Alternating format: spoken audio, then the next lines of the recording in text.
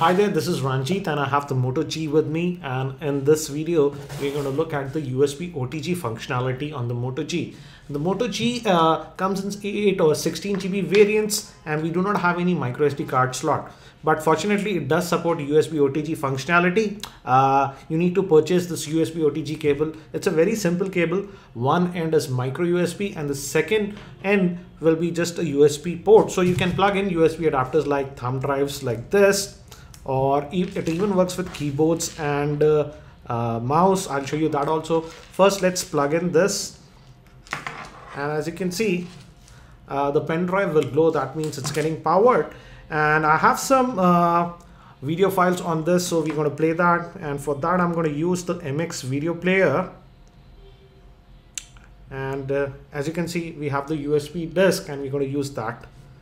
And this is a 1080p video clip and if you see it's being powered by the USB and it's working perfectly. So you can just load up your media like video files etc on this thumb drive and then view it using the USB OTG cable. So as you can see it works perfectly. So let me get out of this one and now let me remove this USB OTG cable and uh, let me also show you uh, it also works with keyboard and mouse and to show you that I have this uh, Logitech K400 uh, uh, keyboard. It also has a trackpad built in, but you can use regular USB keyboards also. And this is the wireless receiver for that.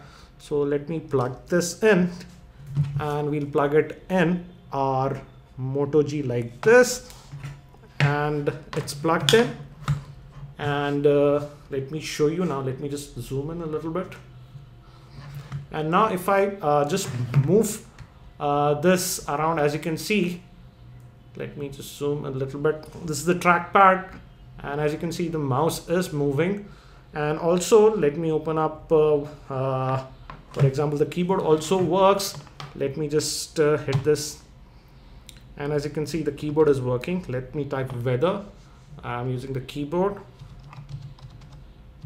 Let me press enter again as you can see it also works perfectly.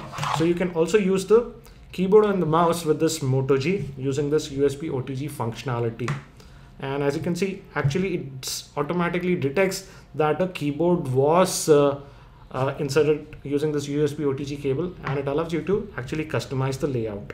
So that's interesting. Uh, another thing that I noticed is that I was able to connect a PS3 controller to this uh, Moto G uh, and it powered fine but sadly it was not working so again uh, you can expand the functionality of this Moto G using a simple USB OTG cable like this. I've also made about four or five other videos on this Moto G. Uh, the links for all those videos will be in the show notes. That's it for now. This is Ranjit and I hope to see you in my next video.